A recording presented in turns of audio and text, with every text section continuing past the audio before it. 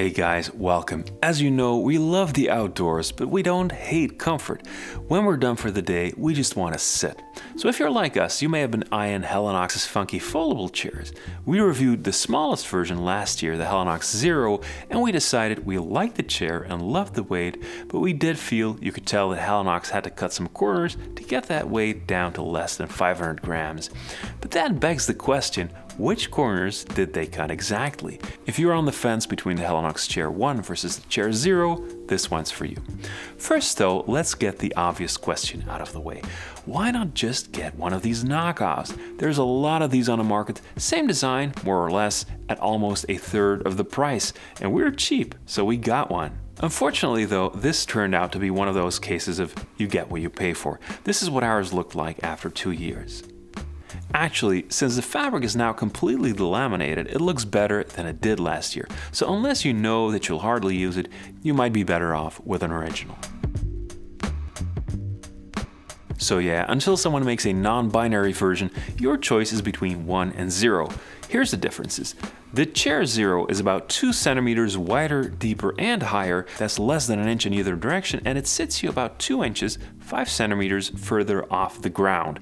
So it is larger in every dimension, but the difference is so small that even the chair one still feels like some kind of microaggression towards plus-sized people. Handling is just about identical, though I slightly prefer the zero for two reasons. One is that the fabric is thinner and easier to manipulate, and two is the fact that the position of this horizontal rod in the middle is fixed, so you don't have to align anything. On the chair 1, it swivels, and I feel it's just a waste of time since you never actually need to be anything other than, well, straight.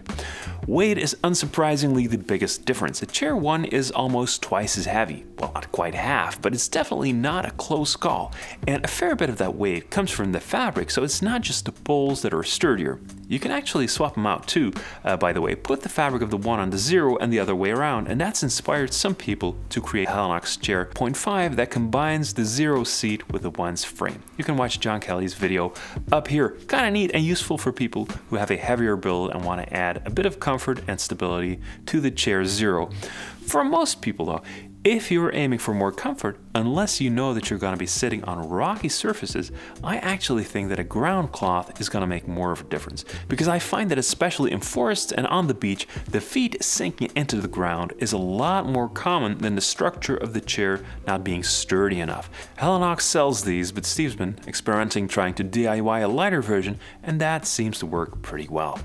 As for comfort, if you put these side by side and ask people to test them both, just about everyone agrees that the chair one feels sturdier and more secure as well as a bit more comfortable. No surprises, right? Given access to both, there is no real situation where any of us would prefer the chair zero.